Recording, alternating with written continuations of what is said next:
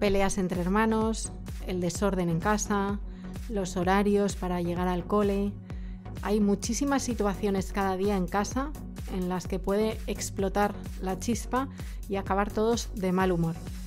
El capítulo de hoy es muy práctico.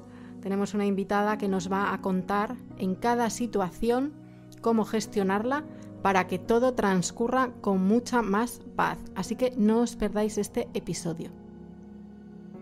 ¿Quieres mejorar la comunicación en casa? Con las Talent Cars podrás disfrutar de conversaciones en familia que os ayudarán a conectar y a conoceros mejor, a fortalecer la confianza y el vínculo afectivo con vuestros hijos, a hablar de vuestras emociones, a reíros juntos y a desarrollar habilidades clave para la vida como la empatía, el espíritu crítico, la escucha activa, el pensamiento creativo, etc. Entra en www.desarrollodeltalento.com barra tienda y descubre todos nuestros modelos. Porque en la familia empieza todo. No podremos cambiar el mundo, pero sí nuestra pequeña parcela. Recuerda, Talent Cars, conversaciones, emociones y creatividad en familia. Bienvenidas a este podcast soy Carmen Osorio, periodista, creadora del blog No Soy una Drama Mamá y autora del libro Mamá sin Dramas. Gracias por unirte a este espacio donde charlo con expertos de distintos ámbitos, desde la educación hasta la salud y el deporte. Conseguir que el nivel de tensión disminuya en casa. Ese es el propósito de este episodio. Es decir, ya sabemos que vamos a mil, que acabamos dando voces, que luego no nos sentimos bien y que hay situaciones y actitudes que conviene cambiar. ¿Cómo? Pues vamos con unos cuantos consejos prácticos para conseguirlo en distintas situaciones de la vida diaria, como el orden en casa, las peleas entre hermanos, los enfados, y para ello contamos con Amaya de Miguel, que es formadora de padres y docente. Bienvenida. Muchísimas gracias, Carmen. Estoy encantadísima de estar en tu podcast, que es fantástico y, estoy muy honrada de que me hayas hecho un huequito.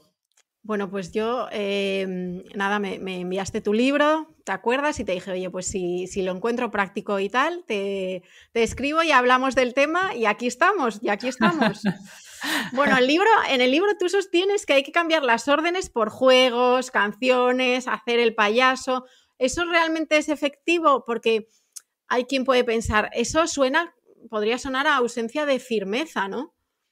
Bueno, mm, es una pregunta, la verdad, que yo creo que nos hacemos muchos. Si yo en lugar de decirle a mi hijo que se lave los dientes, le llevo a lavarse los dientes con canciones o contándole una historia, ¿me está obedeciendo o no me está obedeciendo? Es falta de autoritarismo, pero no necesariamente falta de liderazgo, falta de guía. Nuestros hijos al final lo que necesitan es aprender, necesitan interiorizar conductas positivas y si estas conductas positivas están asociadas a una emoción positiva, les va a resultar mucho más fácil interiorizarla, porque si no se van a resistir, van a pensar, no me gusta lavarme los dientes, además mi padre me regaña, además se produce mucha tensión y van a tener un cúmulo de resistencias y de emociones negativas que les van a hacer muchísimo más difícil hacer lo que queremos que hagan, lavarse los dientes, recoger la mesa, tratar mejor al hermano, hacer los deberes. Por eso yo creo que una de nuestras misiones es conseguir que esas situaciones difíciles sean menos difíciles, más agradables, que nosotros no añadamos tensión y que de esta manera ellos poco a poco las vayan pudiendo hacer. Y no es falta de firmeza, es falta de autoritarismo, por supuesto, pero tú puedes ser firme cantando una canción. Es que suena, pues eso, suena extraño decir, bueno, pues no sé si van a recibir el mensaje de pero tú lo has dicho, ¿no? Que quizá es cambiar órdenes, ¿no? Por otras alternativas, ¿no? Priorizar otras alternativas que no lo vean como una orden al final. Claro, que lo vean como algo que hay que hacer, pero yo lo comunico conectando con el niño, haciéndoselo más digerible, haciendo que ese momento tan difícil para él sea un poco más menos difícil, sea más llevadero, porque lo que quiero, el objetivo es que aprenda y que lo haga y que lo interiorice. No necesito que lo haga cabreado, de mal humor, de mal rollo, con conflicto, porque entonces le va a costar más hacerlo. Eh, los adultos, bueno, eh, tenemos que entender, ¿no? Que hay que a los niños no les apetecen según qué cosas, poner la mesa, recoger, tal. Bueno, realmente no es algo que nos encante a todos, ¿vale? Pero, tiene, pero tienen que hacerlo. Em, ¿Cómo se les convence de que sí hay que hacer algo que no les apetece hacer? Bueno, lo primero, y yo creo que esto es algo importante que muchos de nosotros no tenemos en cuenta, tenemos que tener un mapa muy estable en la casa. Es decir, si yo decido que mis hijos ponen la mesa, la ponen todos los días. No la ponen hoy sí, mañana no porque pobrecito está cansado, pasado mañana solo un poco, al día siguiente, buf, hoy no me apetece pelearme con él así que la pongo yo. Porque esto, mm, que supone mucha arbitrariedad, genera inseguridad en todos, en el adulto que llega a casa pensando qué hago y se lo pido o no se lo pido, en el niño que dice, uy, a lo mejor hoy me libro porque ayer también me libré. Y estamos hablando de poner la mesa, pero lo mismo con el uso de la tele, es media hora, es una hora, son dos horas, es cero. Así que yo una de las cosas que os recomiendo a todos es que tengáis un mapa, que haya mucha consistencia en vuestra casa y que tanto vosotros, los adultos, como los niños, sepáis a qué ateneros. Y en el momento en el que decides que los niños ven la tele media hora al día o dos horas, dependiendo de tus valores, de tu criterio, en el momento en el que decidas que el niño recoge la mesa todos los días y que es una de sus tareas, en el momento en el que tú tengas este mapa, se lo comunicas a ellos. Y todos sabéis que, los, que la tele es media hora, que las chuches son solo en los cumpleaños o solo los viernes, y entonces para ellos va a ser mucho más fácil porque les estás dando consistencia, les estás dando seguridad y tú también vas a tener esa consistencia y esa seguridad. El segundo paso es que los adultos aceptemos que a lo mejor los niños hacen las cosas sin querer hacerlas, protestando, rezongando y no pasa nada. Lo importante es que las hagan. Yo a veces digo a los padres, no escuches, tú mira lo que tu hijo está haciendo. Te dice que no quiere recoger la mesa y que no le gusta nada mientras tiene un plato en la mano y lo está llevando a la cocina. Lo está haciendo. Está expresando que no le gusta. Igual que otros el lunes por la mañana expresan que no quieren ir al trabajo, pero van. Pues tu hijo está haciendo lo mismo. No le apetece nada recoger, pero lo está haciendo. Y por último, si tú, después de tener este mapa estable, después de aceptar que tu hijo va a tener que hacer cosas que no le gusten y le dejas expresar que no le gustan, lo importante es que las haga. Y si por último consigues que ese momento tan rollo, tan pesado para ellos, sea un momento de conexión contigo, un momento más agradable, va a ser más fácil, perdón, que pongan la mesa mejor cada día sin tanta resistencia. Bueno, dices que las buenas intenciones y la fuerza de voluntad no bastan. Y efectivamente, yo creo que todos los padres nos levantamos por la mañana en modo zen ¿eh? y, según va transcurriendo el día, se cae la leche, llegamos tarde, el niño no se pone esto, ta, ta, ta, ta, va subiendo como el nivel de revoluciones de todo el mundo, ¿no? Entonces, la buena intención está bien, pero no sirve de nada, ¿no? Si, si, si, no conseguimos los objetivos. Entonces, como la buena voluntad, como la fuerza de voluntad no valen en esto, para otras cosas sí, pero para esto no basta solo la fuerza de voluntad. Digamos que si, oye, si tú tienes mucha fuerza de voluntad para comer sano o para hacer deporte o no sé qué, a ti te sirve, pero al resto no. Entonces, en este caso, claramente no nos sirve. ¿Qué nos hace falta? Pues mira, voy a usar tu ejemplo de la comida. Imagínate que yo no tengo una cultura muy grande de la alimentación, pero intuyo que no estoy comiendo bien y decido que voy a comer bien. Pero la verdad es que no tengo ni idea de qué es comer bien. ¿Cuántos hidratos tengo que comer? ¿Cuántas verduras? ¿Me quito la carne o no me la quito? ¿Y los lácteos? ¿Qué hago con los lácteos? ¿Qué haría unas personas? ¿Soy alérgico al gluten o no soy alérgico al gluten? En realidad no tengo ni idea. Quiero comer bien, tengo mucha fuerza de voluntad, pero a lo mejor meto la pata si yo decido sin tener ni idea cómo comer bien. Y la realidad es que yo estoy muy habituada a trabajar con padres y con madres que se levantan por las mañanas, como tú dices, en modo zen y diciendo, hoy no voy a gritar, hoy no voy a castigar, hoy va a ir todo bien. Y a los 20 minutos, cuando se cae la leche, aquello ya es un volcán, el adulto está, puff, soltando humo.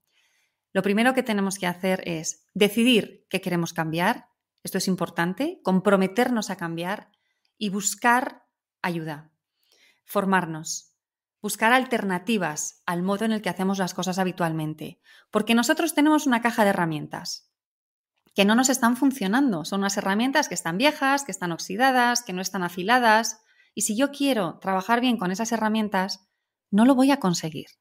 Necesito unas herramientas nuevas, tengo que tirar esas herramientas oxidadas y conseguir unas nuevas. Y eso se consigue con formación. Y hoy en día tenemos la suerte de que la formación está al alcance de la esquina, con podcasts como el tuyo, que, siempre estás invitando a gente fabulosa de la que se aprende muchísimo, con muchísimos profesionales que están trabajando online, un montón de publicaciones. es muy sencillo hoy en día conseguir esta ayuda que todos necesitamos.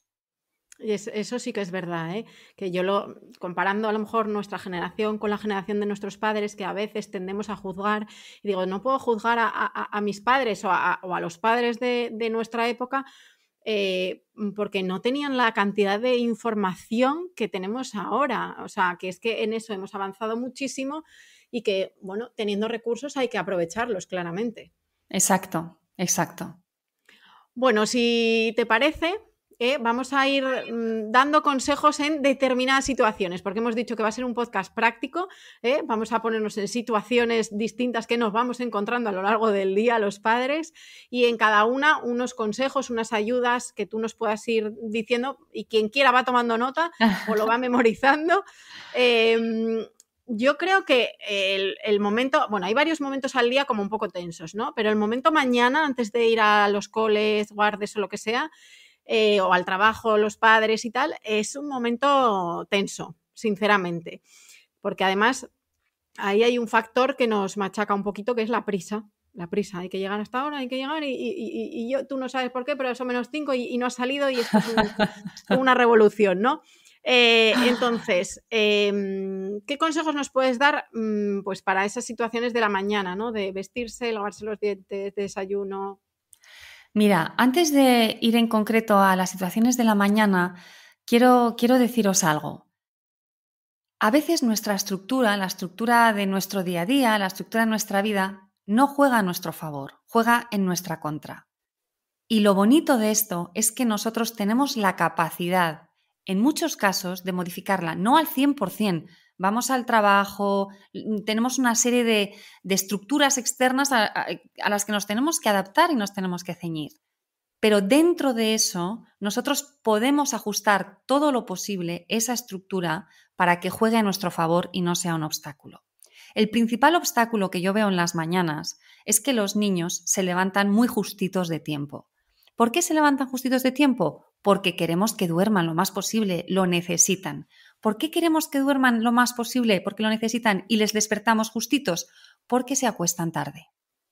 Si adelantáramos la hora de irse a la cama, media hora, una hora, los niños se levantaran de manera natural, sin que nadie les despertara, asegurándonos de que han tenido las horas de sueño que su cuerpo necesita, y con el tiempo suficiente para que el ritmo de la mañana fuera un ritmo infantil y no un ritmo de adultos, las cosas serían muchísimo más sencillas. A veces no sencillas del todo, porque hay que ir al cole. Esta es una transición muy fuerte y no quiero ir al cole. Aunque luego esté bien allí, salir de casa donde estoy calentito, ¿no? El, el, calorcito emocional, físico, y tener que ir al cole donde tengo una estructura diferente a la mía, me cuesta y tengo una resistencia. Pero si por lo menos todo lo anterior es adecuado a mi ritmo infantil, esta resistencia va a ser menor y va a ser más fácil salir. Entonces yo siempre recomiendo esto, adelantad la hora de la cena. Adelantad la hora de acostarlos, que además eso hace que la hora de la noche sea muchísimo más sencilla porque el adulto está menos cansado y los niños tienen el momento de cansancio natural y no se han reactivado para mantenerse despiertos. Pero a veces hay que ir todavía más adelante. ¿Qué tengo que hacer para acostar a mis niños antes? A lo mejor no pueden ir a natación. A lo mejor no pueden ir a clases de inglés. A lo mejor no pueden ir a clase de teatro. Pero gracias a eso, a lo mejor eliminas un montón de conflictos en casa, los niños duermen lo que necesitan y tienen un equilibrio interno que probablemente sea más importante que la natación. Y a lo mejor dentro de dos años ya pueden ir a natación. A lo mejor tienes que esperar para, para, retrasar el momento de irse a la cama, porque sus necesidades de sueño ahora no son las mismas que las que van a tener más adelante. Si hicieras todo esto, que yo sé que es difícil, sobre todo en un país como España, donde los padres trabajamos hasta las mil y una monas, donde la cultura es de cenar muy tarde, de acostarse tarde, y eso está en nuestra cultura. Si aún así tú puedes adelantar un poquito la hora de acostarse y con media hora yo creo que ya lo vas a notar, ¿qué puedes hacer por la mañana? Intenta levantar a tus niños con conexión, con buen humor, con cariño. E intenta comprender que tu presencia es importante para que toda esta transición tan fuerte, estoy tumbado, estoy con los ojos cerrados, estoy a oscuras, estoy en mi cama, estoy calentito, estoy dormido y tengo que dar un volantazo de pie, activo rápidamente, vestirme, con luz, con mi madre dándome órdenes o mi padre, esa transición tan fuerte va a ser mucho más sencilla si lo que perciben en el adulto es conexión, complicidad, calma, de manera que tú tienes que hacer un esfuerzo para, a pesar de que tú tengas en tu cabeza el mensaje, vamos, vamos, vamos, vamos, lo que transmita sea calma, porque así en realidad las cosas van a ser más fáciles para todos. Y con ellos, con la presencia de ellos. Recuerdo una de mis alumnas que me decía que su hijo se levantaba por la mañana y que tardaba en vestirse. Y ella estaba de pie a su lado, a ver si el niño pues se vestía de una vez, porque tenía que irse a la cocina a preparar el desayuno. Los niños necesitan nuestra presencia. Incluso los de 13 años, que hace dos años se vestían solos y ahora con 13 o se lavaban los dientes y ahora con 13 no son capaces. Incluso los mayores necesitan el ancla del adulto. Si tu hijo tiene que vestirse a tu lado, coges al niño, coges la ropa, les llevas a la cocina y están contigo mientras tú preparas el desayuno. Pero esa presencia va a hacer que las actividades se encadenen de manera más fácil y que no se despisten en otras actividades que son las que tienen que hacer, como el juego, que son propias, y que en estos momentos pues no te cuadran en tu agenda. Entonces estás con ellos, con conexión, lo haces divertido, lo haces agradable y les acompañas durante todo el camino para que vayan de un paso al siguiente, de un paso al siguiente y ya por fin salgáis por la puerta. Es que es curioso, ¿eh? O sea, tú les levantas por la mañana y como no estés ahí, efectivamente, presente, oye, que si se ponen con los cromos, que si no sé qué, digo, pero ¿esto qué es? Por favor. y bueno, claro, es su naturaleza, lo entiendo. Pero si tú estás, ya no hay cromos, porque tú les centras, tú eres el ancla, les estás anclando en, el, en la actividad que tú quieres que hagan. Y si se entretienen contigo mientras lo estáis haciendo, los cromos ya no son tan atractivos. Si el momento de vestirse es divertido porque os echáis unas risas, porque hay un juego, ya los cromos ni me interesan, porque es que me estoy riendo con mi madre. Pues eso es estupendo. Claro. Bueno, y nos vamos al momento noche, baños, cenas. Eh, consejos para esos momentos, porque, por ejemplo, el tema ducha. Mm, algunos niños, oye, como, como, en modo exorcismo. bueno, eh, aquí os digo mm, que lo que mejor funciona para que los niños que no se quieran duchar se duchen es convertir la ducha en un superjuego y también comprender que es una gran transición para ellos, porque la mayoría, la mayoría, de los niños que no quieren entrar en la ducha son los niños que después no quieren salir de la ducha, porque entrar es muy difícil, pero luego salir también, porque en realidad en la ducha estoy genial. ¿Qué podemos hacer? Pues mira, en lugar de que el niño se duche, a lo mejor el niño tiene que limpiar a sus muñecos que están muy sucios. O a lo mejor, como, como mm, descubrió una alumna, compró una rasqueta limpiacristales para su hijo y el niño no iba a ducharse, el niño iba a limpiar la mampara de la ducha. Y estaba mucho rato, tiqui, tiqui, tiqui, tiqui, limpiando la mampara y estaba muy bien. También podéis cambiar los horarios. Tenemos que adaptarnos, tenemos que comprender las necesidades de nuestros hijos. Tenemos la idea de que nuestros hijos se tienen que duchar por la tarde porque han estado jugando, se han manchado, han sudado, pero a lo mejor les resulta mucho más fácil ducharse por la mañana. Una de mis hijas durante años se ha estado duchando conmigo todas las mañanas. Entrábamos las dos juntas en la ducha, era un rato para ella de conexión, una manera bonita de empezar el día y no quería ducharse sola. Y duchándonos juntas, esta, esta dificultad desaparecía. Y yo también, una de las cosas que, que os invito a que penséis, tiene que ver un poco con lo que decíamos antes de si nuestros ritmos nos ayudan o van en nuestra contra. A veces el peso de la cultura es muy fuerte pero podemos pensar, ¿realmente esta estructura cultural me ayuda a mí? Cuando yo era niña, no sé si en tu caso sería igual, Carmen, yo me bañaba los viernes por la tarde, me bañaba un día a la semana. Mis compañeras también, muchos amigos de mi misma generación se bañaban un día a la semana. Hoy en día nos duchamos y nos bañamos los adultos todos los días y a los niños también. ¿Qué pasaría si ese hijo tuyo, al que le cuestan tanto los baños, en lugar de bañarse a diario, se bañan días alternos, o incluso dos días a la semana, y lo hace contigo, o lo hace jugando, ¿qué es lo peor que pudiera ocurrir? Que a lo mejor tiene un poco de barro en el tobillo, eso se lo limpias con una toallita húmeda, ¿no? Hay alternativas. A veces. me, está, me está recordando al primer hijo que lo bañas todos los días y yo, Aurora, yo, perdonad que os lo diga, pero de repente digo, pero si la he bañado hace cinco días la última vez, digo, pero ¿qué es esto? Eh, ahora no, porque bueno, oye, el, momento bañera ella le por ahora bien, pero, pero digo, pero es que, digo, y realmente no pasó nada. O sea, está igual de sana que el primero. Claro, ¿qué pasa? ¿Qué es lo peor que puede ocurrir? Es que no ocurre nada. No ocurre nada. Tenemos que aprender a, a, identificar cuáles son las cosas realmente importantes en la vida y cuáles no. Y yo creo que una casa donde hay pocas broncas, pocos momentos de tensión, eso sí es importante. Mucho más que tener un baño diario, pero muchísimo más. Lo más importante, otra cosa es que no te bañes nunca o que los niños no se bañen nunca, pero hay que buscar un equilibrio, algo que esté bien y que no suponga un conflicto diario. Y bueno, otra cosa que les cuesta también mucho a los niños es el tema del orden, de recoger. Luego hay niños y niños, como todo. Yo en mi casa tengo uno hiperordenado, otro que mm, el pijama, una bola y pum, así lanzado al, al, armario, que digo, pero por favor, ¿qué estamos haciendo aquí? ¿Qué está pasando?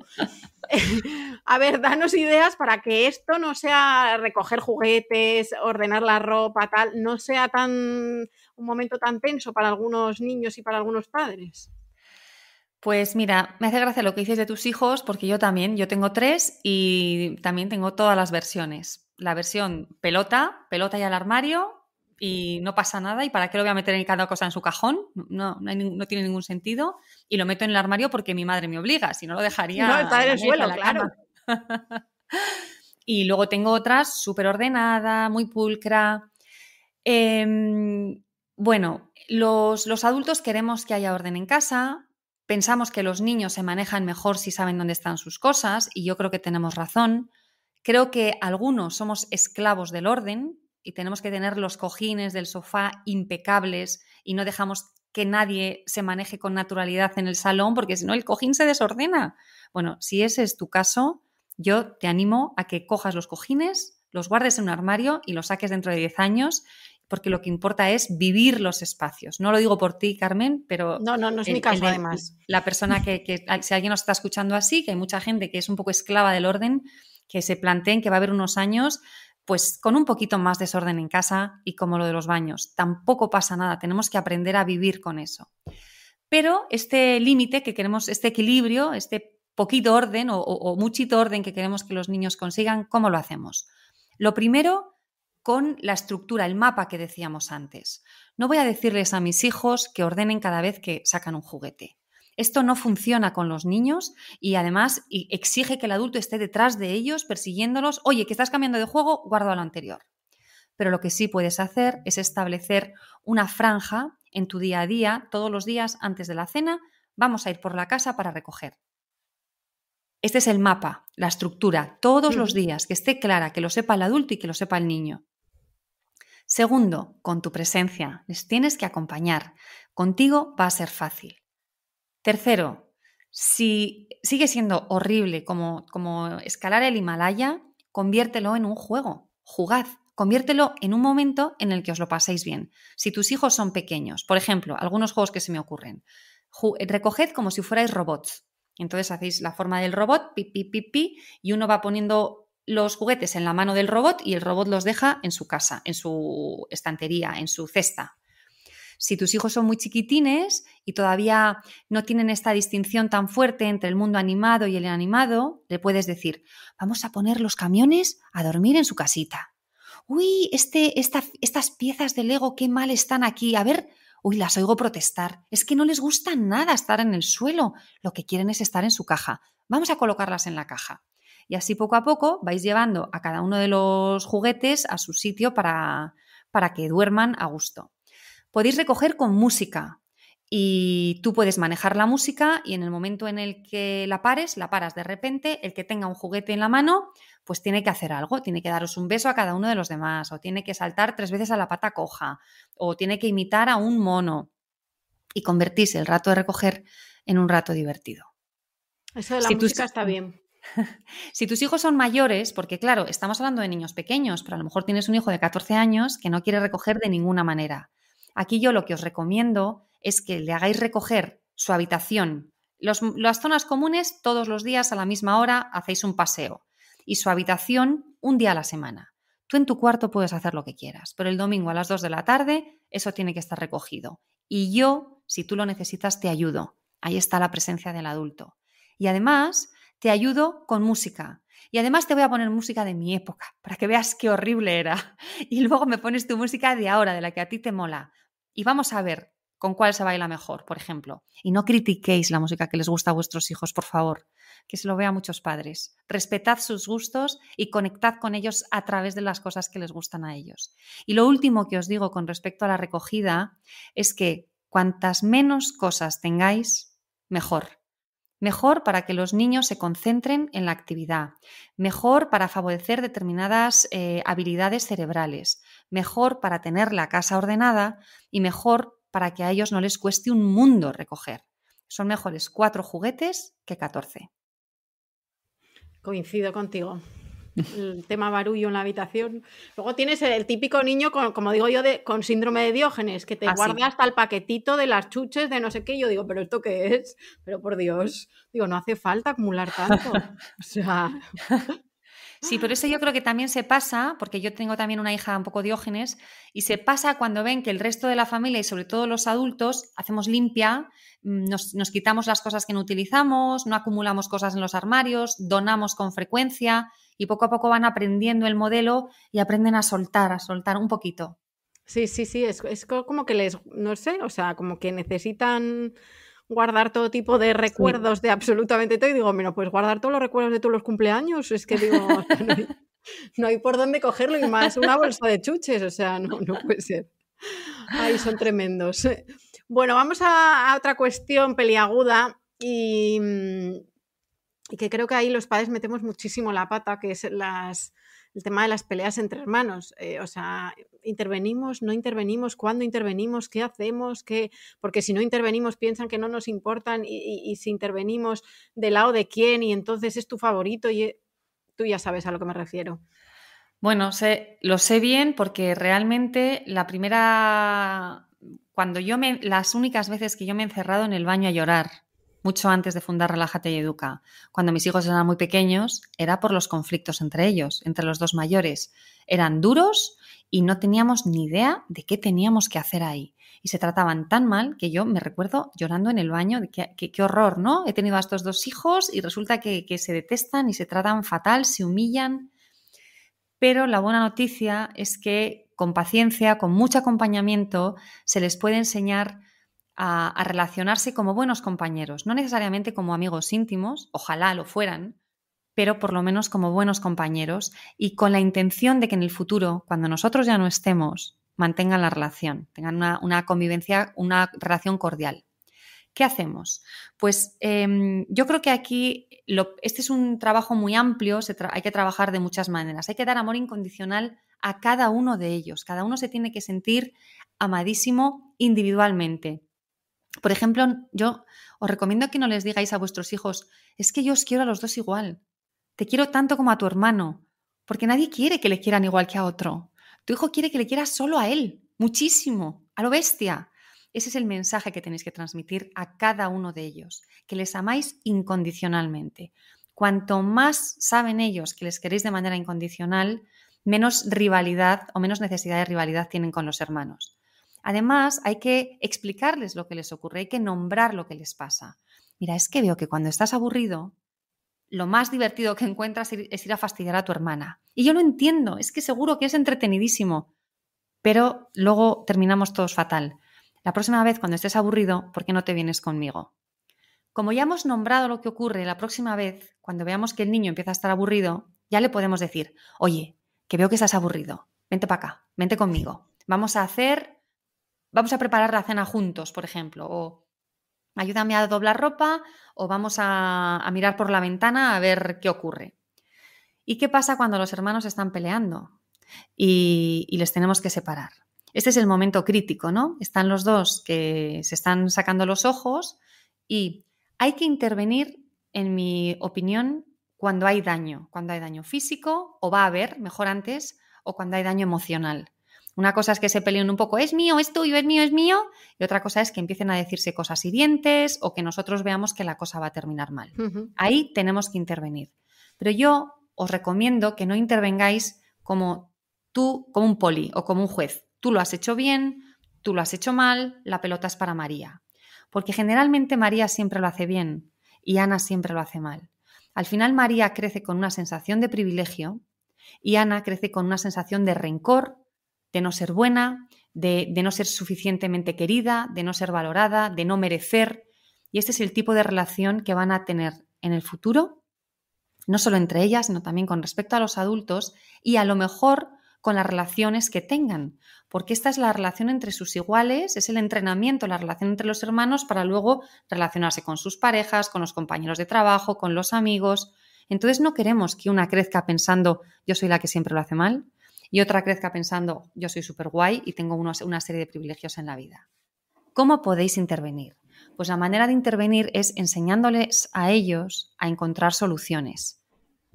María te cuenta lo que ha pasado con la pelota, Ana te cuenta lo que ha pasado con la pelota, lo hablan entre ellas contigo delante y al final les dices, ¿y esto cómo lo arreglamos? ¿Qué hacemos con esta pelota? Tú sabes que la tendría que tener María, pero no lo dices, te quedas callada. ¿Qué hacemos? ¿Qué hacemos con la pelota? Y poco a poco con tu guía irán encontrando soluciones.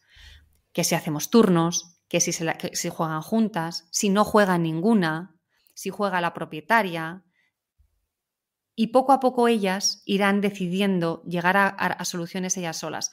Hasta que alguna vez cuando intervengas te digan lo que me dicen mis hijos a mí. Mamá, tú no te metas, esto es asunto nuestro. Eso es bueno, eso es lo que queremos, que ellos sean capaces de resolverlo. Pero además aquí, en el asunto de las peleas entre hermanos, en Relájate y Educa usamos mucho el juego, la disciplina juguetona. Y os voy a poner un par de ejemplos de cosas que yo uso con mis hijos y con muchos de mis alumnos. Uno es la llamada a la policía. Viene tu hija María.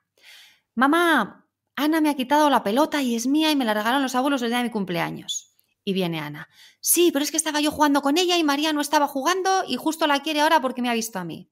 Entonces tú les dices, silencio chicas, un momento, un momento, por favor. Y coges cualquier objeto que tengas a mano, un lápiz, tus gafas, el ratón del ordenador, y lo usas de teléfono para llamar a la policía.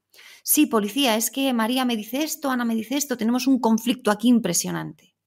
Y la policía te empieza a decir algo y tú dices, ajá, sí, ah, ¿de verdad tengo que hacer eso? Vale, vale, muy bien, de acuerdo, gracias. En ese momento tus hijas ya no están en el conflicto de la pelota, están mirando a su madre que no entiende muy bien lo que está haciendo, que está hablando con un lápiz diciendo que está hablando con la policía por teléfono y quieren saber lo que ocurre. Has roto completamente el clima de tensión que había. Ese es tu objetivo, reducir la tensión, crear ambientes amables en casa. Y entonces les dices a las niñas lo que te ha dicho la policía. Y la policía te ha dicho que las tienes que perseguir por toda la casa hasta hacerles cosquillas a las dos o que las tienes que perseguir para darles un abrazo a las dos y estrujarlas mucho, o darles 50 besos a cada una. Cuentas hasta tres, a la de tres las empiezas a perseguir y ojalá, y esto ocurre muchísimas veces, las dos se alíen contra ti y se van juntas para escaparse de ti. Y aquí estás consiguiendo lo más importante, y es que un momento de separación y de hostilidad entre ellas y de conflicto se convierta en un momento de unión entre ellas, de risas, de pasarlo bien.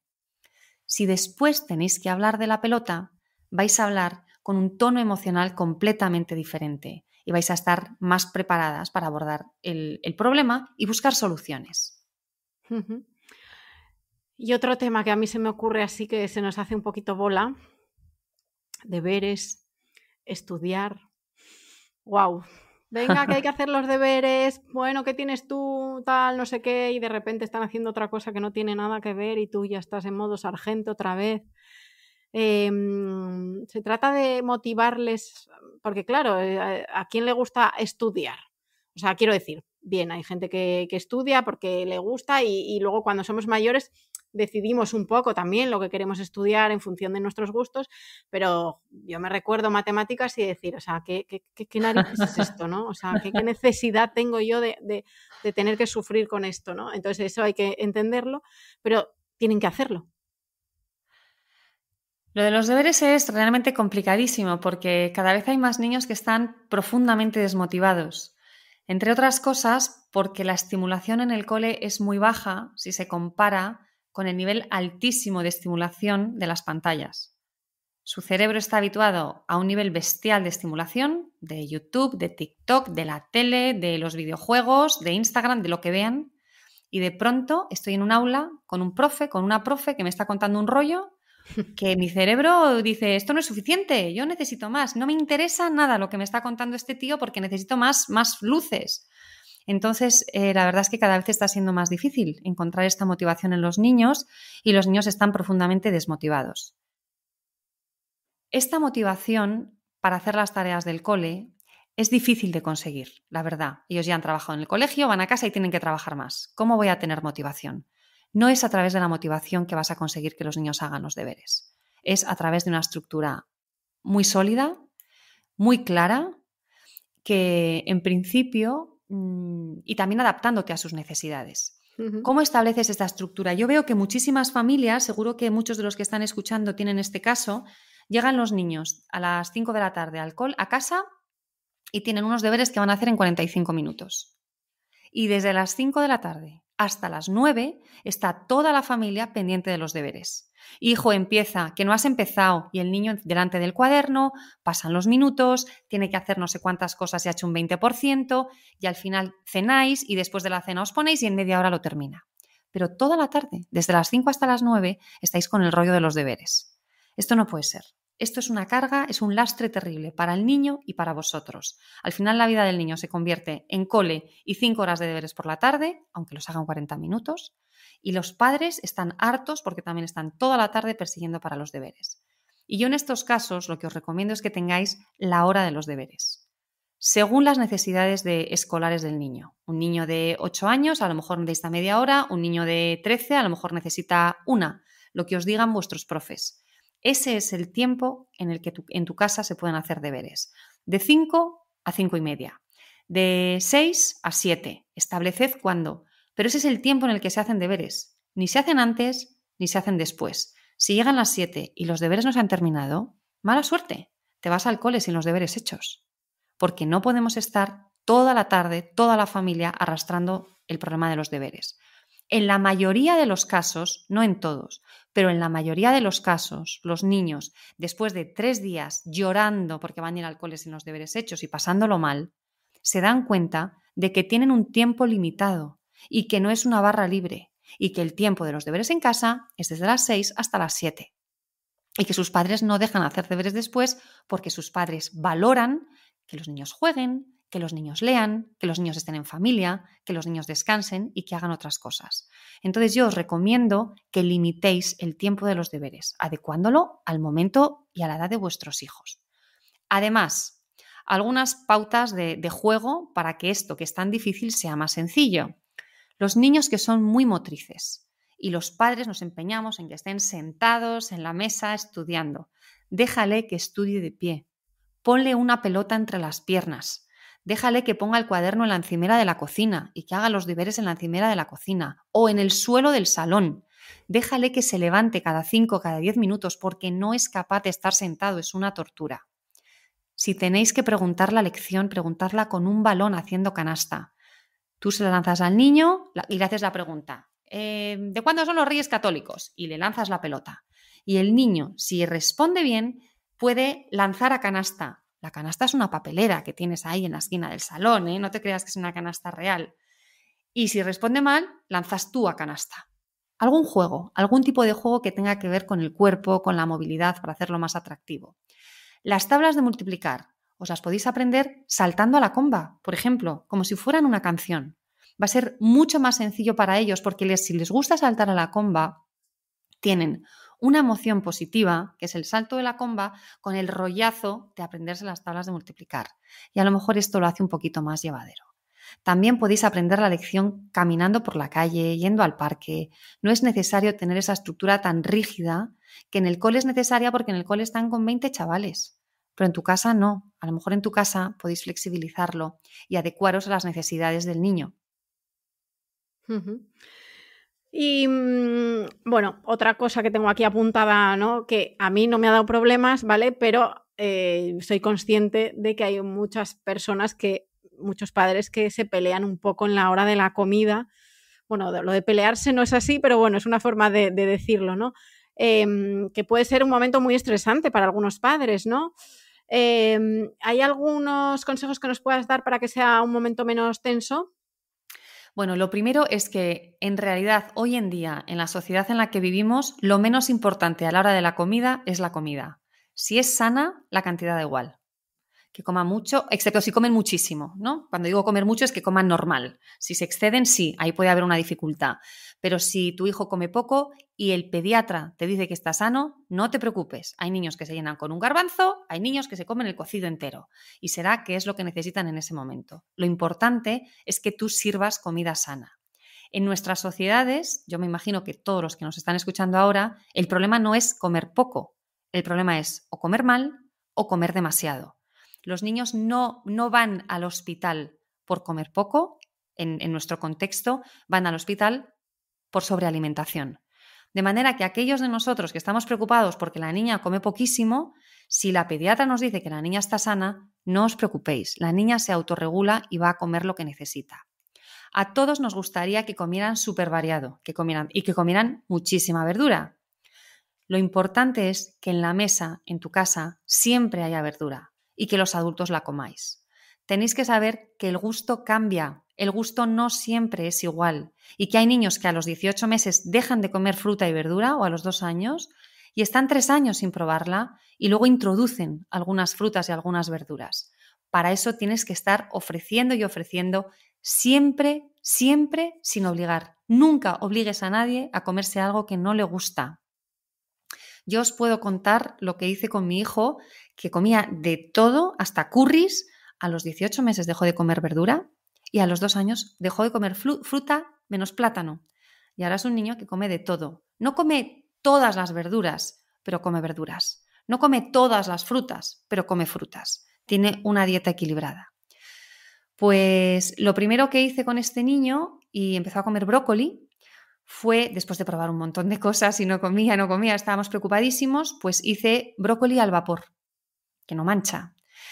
Y cuando estiró la manita, tendría dos años y medio, tres años, le dije, no, ni se te ocurra comer brócoli. No, no, no, no, no lo comas, no lo comas, no lo comas. Y yo me puse un poco escandalosa. ¿Por qué, mamá? Pues porque si lo comes, te van a empezar a salir ramas por las orejas, ramas por los ojos. Y cada vez que le estiraba la manita para coger el brócoli, yo escandalizada, no, no, no lo hagas. Él sabía que era una broma, que estábamos jugando. Probó el brócoli, no le resultó desagradable y empezó a comer brócoli. Siempre con ese juego. Sin el juego no. Siempre con el juego. Era divertido y él toleraba el sabor del brócoli. Y otra cosa que descubrí con este niño es que no soportaba las texturas de las verduras cocinadas, pero si estábamos en un sitio donde no había comida, como por ejemplo la salida del cole, en el coche, en el parque, donde no había un frigorífico, y, yo llevaba hortalizas crudas, zanahoria, pimiento, apio, eh, puerro incluso, coliflor, crudos, se los comía sin ningún problema. Llegábamos a casa, a la hora de la cena siempre había verdura y él no la probaba, pero había comido estas hortalizas crudas en, en, los intermedios del día y yo más o menos estaba tranquila porque lo estaba comiendo. Pero mi recomendación es que sepáis que si los profesionales os dicen que vuestros hijos están sanos, lo que yo os invito a que hagáis es poned comida sana en la mesa. Tú eliges lo que sirves en la mesa. Tu casa no es un restaurante, no, no cocinas a la carta para tus hijos. Tú eliges lo que sirves, pero pon siempre en la mesa algo que ellos toleren, que todos puedan comer y que ellos elijan lo que comen, que elijan la cantidad, si no se pasan, claro, y que si no quieren comer las lentejas, pero has puesto también una ensalada o pollo, que coman el pollo, que coman, ellos pueden elegir lo que comen, pero tú eliges lo que sirves y que sea sano. No te preocupes, haz de ese momento un momento agradable, de unión entre vosotros, de conexión, de estar a gusto, porque yo creo que hoy en día lo más importante alrededor de la mesa es lo que ocurre entre las personas y no el guisante más, el guisante menos, pues bueno, yo que tome, digo que tome nota porque yo ahí no he tenido problemas, pero yo sí que sin querer he hecho una cosa y es, mm, bueno, pues no les gustan los pimientos o el brócoli, pero que es que me cenan ensalada todos los días de acompañamiento, pues ya está, pues ensalada, pero ¿para qué me voy a poner yo pesada con el brócoli o con otra cosa? Digo, ya dentro de unos años a mí no me gustaban las alcachofas y ahora me encantan, o sea, quiero decir. Eso es una buenísima recomendación. ¿No le gusta una cosa? Cámbiala por otra del mismo grupo. No le gusta. La ensalada les gusta. Pues ensalada, a saco, ya tienen la verdura. Ya está. ensalada con, la legumbre o con el pescado o con lo que haya, pero ensalada, ya está. y es la manera de comer verdura. Oye, ya está.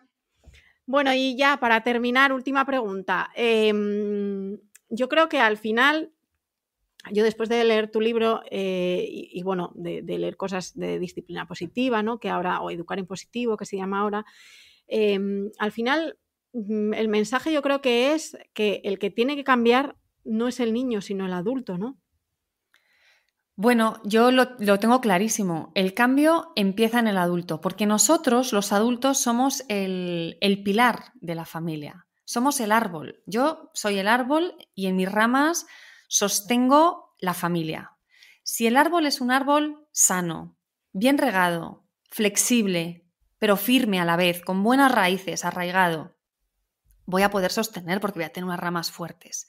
Si el árbol es un árbol enclenque, agrietado, seco, se van a quebrar las ramas y se va a quebrar el árbol. El cambio siempre empieza en nosotros. Yo lo tengo muy claro independientemente de la naturaleza de tus hijos. Entre las familias con las que trabajo hay padres con niños que no tienen ninguna dificultad, que la vida la tienen facilísima. Hay padres de niños que son muy agresivos, niños explosivos. Hay padres de niños con daños cerebrales. Padres de niños de dos años. Padres de niños que son adultos, pero su edad mental es mucho más baja. Padres de adolescentes. Porque somos nosotros los que tenemos que tener las herramientas, la inteligencia emocional, nuestra propia estabilidad para poder sostener a la familia independientemente de cómo sean nuestros hijos. Y en el momento en el que tú empiezas a hacer las cosas buscando la conexión, poniendo el amor en el centro, mm, eh, comprendiendo las necesidades reales emocionales de la otra persona, siendo capaz de observar e introducir cambios. Todo va a cambiar. Y además, el adulto, tú, te vas a sentir muchísimo mejor porque vas a saber hacia dónde vas, vas a tener un sentido de dirección, no vas a ir a ciegas con esa sensación de ¿qué hago? Pero lo estoy haciendo mal, pero ¿cómo lo hago bien? En el momento en el que tú tienes este sentido de dirección, tu vida, tu vida interna va a cambiar y también la de, la de los que te rodean. Pues me quedo con este final y que te agradezco un montón esta, esta charla eh, y todos estos consejos que espero que, sean, que, ayuden ¿no? a quienes nos estén escuchando. Así que millones de gracias, Amaya. No, no, en absoluto. Muchísimas gracias a ti, Carmen. Ha sido un placer, me ha encantado esta conversación que hemos tenido. He estado súper a gusto, me has hecho sentir muy bien. Gracias. Oh, pues me alegro. Bueno, pues me parece que ha sido un podcast eh, que va a ayudar mucho. Ha sido muy práctico, ha puesto muchos ejemplos. Era lo que yo quería, ¿no? Después de leer el libro de, de Amaya. Y yo de verdad que, espero que de, este episodio podáis sacar pues varias cositas ¿no? que os ayuden en el día a día en la gestión de, las crisis en casa.